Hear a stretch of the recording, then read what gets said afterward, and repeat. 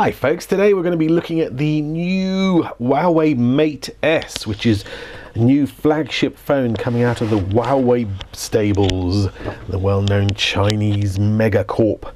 Um, this is a beautiful, beautiful phone. As you can probably tell here, and beautifully packaged I would say, to get it out. Um, what's in the box first? Let's take a look. So we've got power, power cable, ear pluggy thingies. And in here both a little uh, sim slot opener a case leather case here and a set of documentation. Actually a quick start guide in multiple languages beautifully produced I have to say. Um, not I mean not huge this is all the languages in one, but it's um, suitable enough to uh, to get you going and tell you where to put the SIM card and the micro SD card, etc. Well, enough of that. What about the phone itself? Well, it really is, as I said, a flagship product. I mean, you're talking a 5.5 AMOLED screen with a Kirin 935 2.2 gigahertz processor. 64-bit, of course. Android 5.1, um, ready for 6, apparently. And 32 gigs of ROM and 3 gigabytes of RAM in there. Beautiful unibody um, construction, twin speakers at the bottom and micro USB charge point. There's volume and power. And on this side is the like a SIM card uh, slot, which comes out. It's 4, uh, 4G LTE with a fingerprint plus. I'd say fingerprint plus because it does other things apart from just doing fingerprint. And it has a 13 megapixel camera on the back with uh, optical image stabilization, which is pretty cool. Dual dual tone flash, whatever that means. Uh, 8 megapixel front and a 2700 milliamp hour battery. Weighs about 156 grams, 7.2 mil thick. So it's it's a really beautifully constructed piece of hardware. If you want to have a quick comparison, here it is standing next to a Nexus 6P. Um, they're both Huawei's, of course, but we won't uh, we won't uh, mention that just in case. Um, so you can get an idea of the difference in size and actually the difference in kind of construction and, and structure and stuff. I have to say that in terms of, of looks, this Mate S is a, a, a is is way way one of the nicest we've seen. Huawei, one of the nicest we've seen uh, on the market to date. I mean, it's just and it's a it's a nice feel in the hand as well. It's uh, for for a for a big phone. Let's face it, it is a 5.5 inch screen. It's uh, it's really neat. Right, so what about the features of the phone, the special things that are touted? Well, the um, there's a bunch of them they come out now. Top five favorites, if you like. Uh, number one is knuckle control. Now that will take a screenshot, believe it or not. Or it should do. There you go. Um, it's it's like all, all gesture control. I can also set the camera going by doing that, which will give me the camera. So it's a little thing. Oh yes, it's little things that please, isn't it? Moving on to number two, the fingerprint sensor is more than just a security device. Um, we found that uh, using it is, is as intuitive, although not quite as effective, I would say, as the Nexus 6P because it's just not as failure proof. In other words, sometimes it'll say, "Oh, we don't uh, we don't recognize your finger because you've got it at a strange angle," whereas with the Nexus, it just seems to work all the time. Actually, it's it's proven me wrong now because it's working all the time. But hey, what the heck? So you're just basically touching, touching the back, and off it comes. So we like that. There's also um, the feature for uh, doing things like swiping with your finger to move the photographs along. So instead of swiping with your hand, which is quite handy on, a, on if you've got one hand busy, you can use the little digit to do that. Well, we we also like this that you got swipe down for your notifications using the the fingerprint as well. So a fingerprint. So it becomes a bit more than just a security. You don't have to register the fingerprint to to use it as that. By the way, that the security is irrelevant to the uh, the swiping and stuff. Number three, the camera. The camera is, is more than just a, um, a a pretty good camera, to be honest with you. I mean, it's a 13 megapixel, which, which rather like the um, the Nexus actually delivers really good results, really fast focusing, etc. But we like some of the uh, the functionality that comes in. So there's there's uh, things like beauty mode, which is for taking fancy portraits and selfies and that kind of stuff. But you've also got the ability to uh, sort of use spe- special scenes, what kind of mega scenes. So you've got things like silky water, that great effect when the water's flowing and stuff. It's just a quick and easy way. Car light trails, you know, those fancy photos where you get to car light trails. We like that. that that's sort of cool. HDR Plus, of course, is included as part of this, and uh, time lapse and, and stuff like that. But there's also things like Pro Camera, which is gives you full manual control over the the settings, the um, exposure, the ISO, etc. of your camera. So that's great if you want to do particularly tricky shots uh, and you don't trust the automatic function to get it right.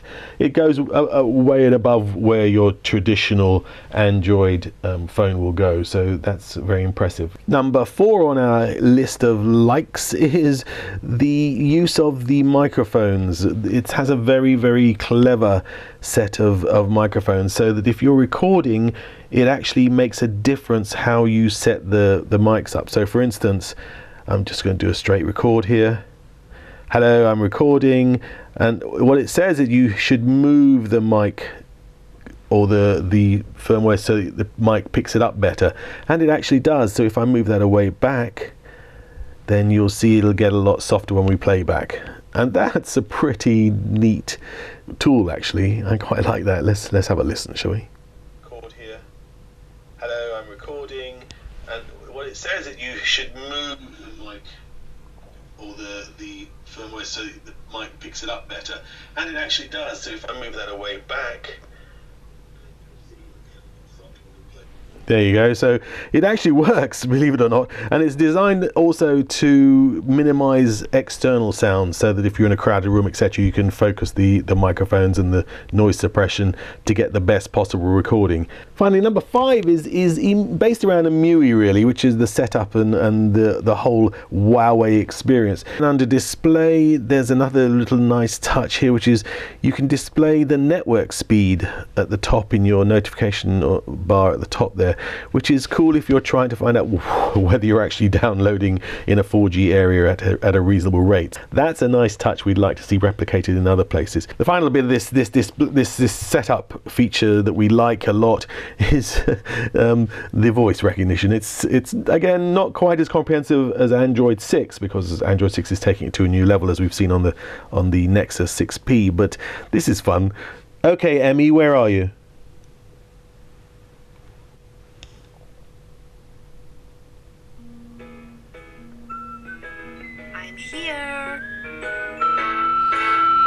if you lose your phone and it's stuck down the back of the couch, this is how you go. you find it. It talks to you. Hey, cute, eh? All right, all right. We like little things, tiny things for tiny minds. What can I tell you?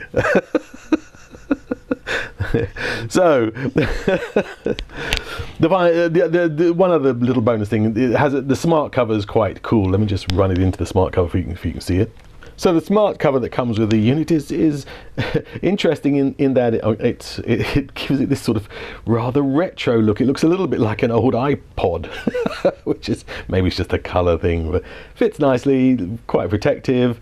And the smart cover, of the course, is the fact you can get notifications and all that. Well, not sure if you get full notifications, but you get um, certainly that small screen in the front when you need it and then the full screen when you open it up.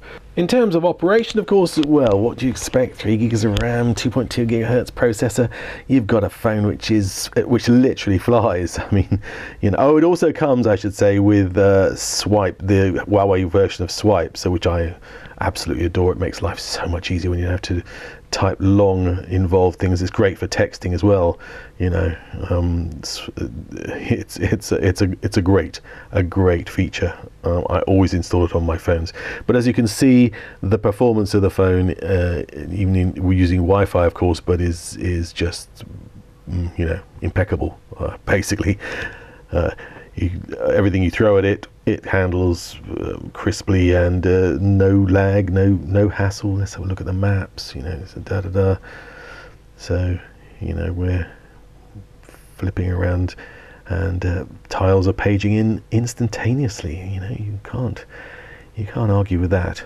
You do, have, however, have to get used to the fact that it has no app drawer, so everything gets plonked onto the uh, home screens, which some people like and some people don't. I personally am not that fond of it. I'd rather keep it uh, uncluttered and have an app drawer, but you know, the Huawei way is, is, is to do this, and other manufacturers as well. Mm, not convinced.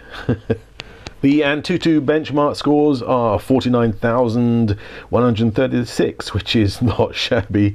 It places it just down here, be, be just below the Nexus 6, well, quite a bit below the Nexus 6, but above the Lenovo K3, etc.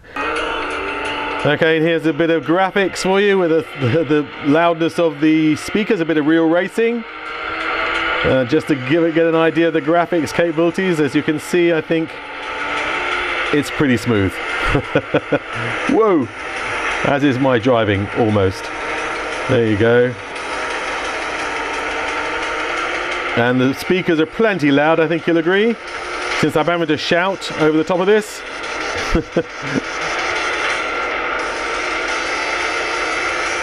well, so there you have it, the Huawei Mate S a very, very impressive phone. I really like it. It's beautifully designed, very nice in the hand, light, solid feel, you know, sort of top quality unibody construction loudspeakers, all the all the good bits. So if you're looking for a premium phone at a reasonable price, I have to add, then this is definitely something that should be on your list. The Huawei Mate S. Really nice. As usual, if you've enjoyed this uh, review, please subscribe to the channel so we can bring you more cool stuff. Thanks very much.